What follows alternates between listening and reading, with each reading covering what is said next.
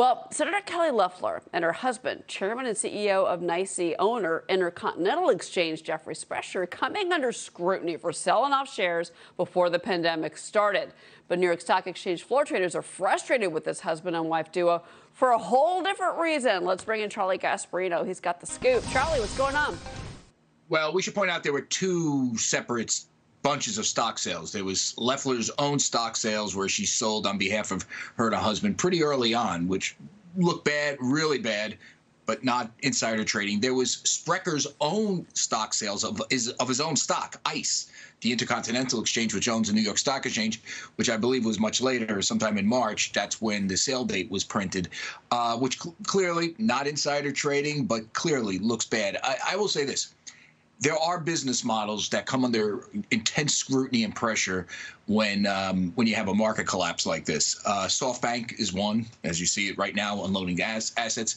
The New York Stock Exchange is kind of coming under another type of pressure, and this is what's going to be, I guess, we're going to be talking about for a while, because a lot of people say, if anything, what the New York Stock Exchange did was expose the fact that the floor of the stock exchange was put at risk when it didn't need to have to be put at risk. That you know people knew there was an issue going back with the spread of this virus for for for weeks. Uh, they you know clearly people were scared about this. Yet the floor, yet, yet management namely Sprecher and and uh, and Kelly uh, and and, and Miss and Stacey Cunningham and Kelly Loeffler, as you know, was not in management at that point. She's a senator from from Georgia. Uh, they kind of rolled the dice on this to keep the floor open when it really didn't need to have have to be open. So I think what we're seeing out of this is immense criticism from the floor, from floor brokers who are saying these guys put us in in harm's way, and even I think different than that and maybe worse for the New York Stock Exchange and its business model, there's a real debate now going on whether the floor is needed at all. Uh, as you know, members have gone up, gone on to say we did a story about how Doug Cifu, uh, uh, the CEO of Virtu, which is a key partner of the New York Stock Exchange, said the floor is essentially a TV studio. So I think there's going to be a debate about the floor, whether they need it. And if there's a real debate about the floor, the New York Stock Exchange doesn't lose an edge in pricing stocks. It still, you know, still has the electronic thing. Uh, where it's going to lose its edge is in marketing. If they don't have the floor, it's going to be hard to charge four or five times as much as they do for a listing fee because part of the drama of the day, and it's televised drama, as you know, we're there. CNBC has a huge operation there. Other people have have huge operations. Uh, is this sort of is this drama on the floor, which really isn't much drama. It's you know the real trading is occurring electronically. It's occurring at hedge funds. It's not occurring with the few pe- the people that are left on the floor. And I I think there's uh, with support staff and everything, it's probably under 500. It was many times that during its heyday. So I think that's the problem the New York Stock Exchange has.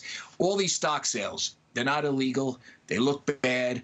It's and they're gonna people are gonna start questioning why they need the floor you know, at all when they should have when they should have shut it down a, a while back. So mm-hmm. that's the problem the New York Stock Exchange has. They, we've asked them for a comment that they merely pointed out that Mr. Sprecher and, and Kelly Loeffler, you know, uh, or Mr. Sprecher in particular, he's the uh, he's the executive, he's the chairman of the New York Stock Exchange and and the head of ICE.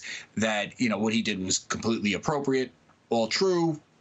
I don't believe it's violating law, but their their their business model is coming under a lot of pressure and will will be coming under pressure. People doubt. I will say this: I talked to a lot of Wall Street execs. They doubt the floor will ever open again. We'll see if that happens. Oh. Uh, we should make one more point here uh, okay. before I go. Um, okay.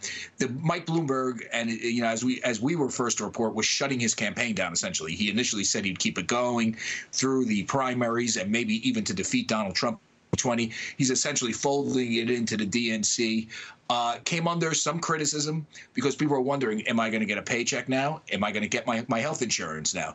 Uh, Lydia Moynihan, my producer, came across a memo which just was issued that Bloomberg is going to extend to his campaign staffers, people that are, you know, may lose their jobs, is going to extend health benefits through April. At least oh, that's, that's, what good. the memo said. So he's joining others that are trying to take care of employees as uh, we as we get through this stuff. I love it. By the way, I need a good point, news, Charlie. We should point out that we, we should we, we should point out that April is not exactly that far away. I mean, if you listen to Tony Fauci, it's uh, this thing could go on for for beyond April. Yeah, anyway, back yeah. to you, Charlie Gasparino. Good to see you, sir. Thank you, Charlie.